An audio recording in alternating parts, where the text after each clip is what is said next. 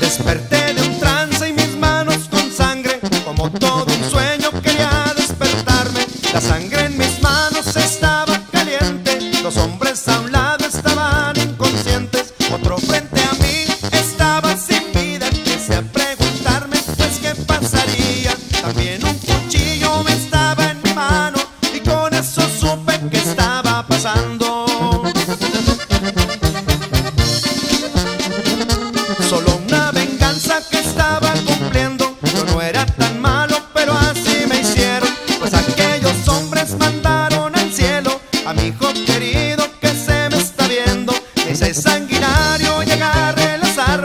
chaleco y mi